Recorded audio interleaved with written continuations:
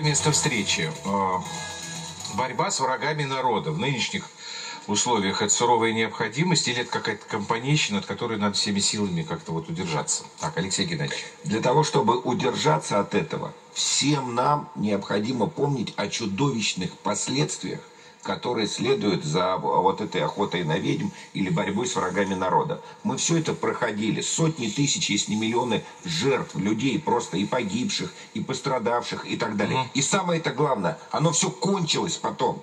И ради чего? Ради проклятия в веках. Александр Давыдович.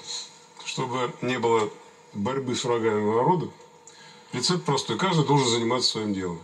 Спецслужбы занимаются, ищут потенциальных преступников или совершивших, или готовящих преступление, а мы им не мешаем, журналисты занимаются своим делом, освещают события правдиво и по-настоящему, остальные работают, каждый на своем месте. Все, вот или вам рецепт. Борис Борисович.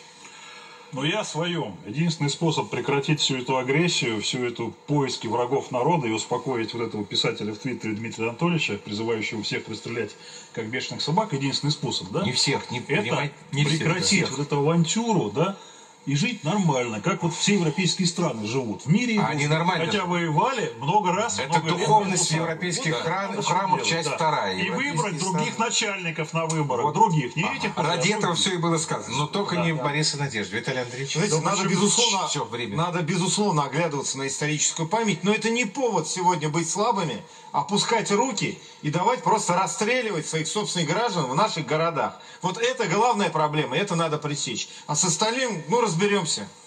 Такой Бог вопрос, защитит Андрей. Владимирович, поставил. А? По- Вопрос вы сложный поставили. Можно я чуть-чуть полегче Давай. в финале? Вы, если нас смотрели сегодня весь эфир, вы помните, что мы с Андреем Владимировичем дискутировали, как нам называть э, товарища, которые нам не товарищи Эммануэля У Макрона. меня целая программа в было, голове редак- это было редакционное предложение про любителей потных негров. Андрей Владимирович отверг, мне очень нравится. Вот этот наш фрагмент нашего разговора, мы его уже в наш телеграм-канал выложили. Вы можете зайти, кто не смотрел с этой точки, посмотреть, чтобы ознакомиться с, с ходом и сутью дискуссии. И можете свой вариант, ну, за место любителя потных негров, предложить какой-нибудь еще. Там, я знаю, уже люди в комментариях развлекаются. Вот вы приходите конкретно в этот пост, пишите там все, мы, конечно, прочитаем. Если что-то нам понравится, может быть, даже и воплотим Просто редакционно в жизнь. Слово негр, оно очень приставучее такое. Поэтому против него либералы Приставучее выступ- к Макрону вы Нет, к- вообще ко всему, к языку. Поэтому против него и выступают, говорят, что, мол, нельзя так говорить. Я по первому самому сюжету нашей программы сегодняшней. А ведь в молодости Дональд Трамп не поверил цыганке, нагадавшей ему, что на старости лет он будет жить в бесплатной государственной квартире, которую специально для него освободит компания молодых негров. Это было место встречи, которое изменить нельзя. 14.00, будний эфир НТВ. Всем доброго, до свидания.